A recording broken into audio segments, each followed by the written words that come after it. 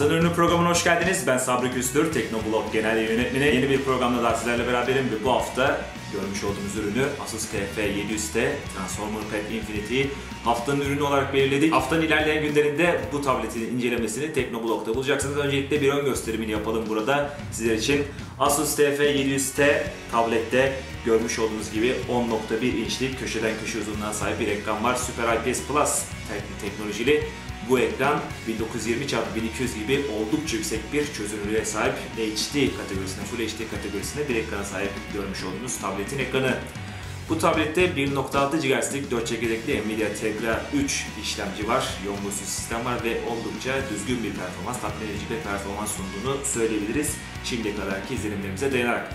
Bunun yanı sıra tablette 1 GB RAM bulunmakta, 32 ve 64 GB'lık iki farklı dahili depolama alanına sahip seçenek var. Bunun yanı sıra 32 GB'lık microSD kart yuvası sayesinde bu tabletin depolama alanını daha da arttırmak mümkün.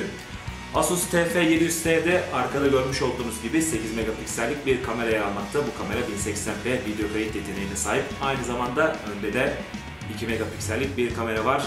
Görüntülü görüşmeler veya kendi fotoğrafını çekmek isteyenlere bu ön kamera yardımcı olacaktır. Tablette Android 4.0 Ice Cream Sandwich yüklü gelmekte. Bunun yanı sıra çeşitli Asus uygulamaları var. Önceden yüklenmiş bazı uygulamalar var. Görmüş olduğunuz gibi Ice Cream Sandwich'in kullanıcı arayüzü vasıtasıyla hepsinde gezinti yapmak mümkün. Ee, Google Play Store üzerinden birçok uygulama indirmek, bunun yanı sıra Google'ın servislerine ait uygulamaları kullanmak da mümkün.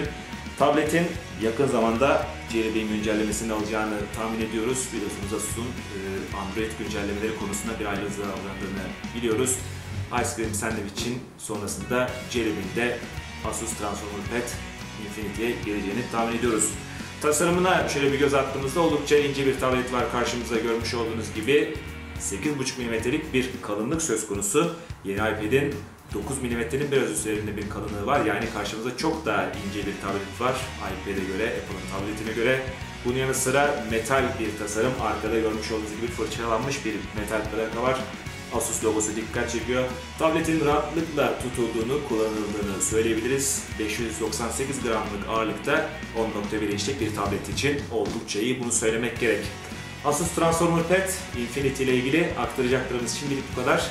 Bu tabletle ilgili daha fazla ayrıntıyı hafta içerisinde yayınlayacağımız incelemede bulacaksınız. Gelecek hafta yepyeni bir haftanın ürünü bölümüyle yeni bir ürünle görüşmek üzere. Şimdilik hoşçakalın.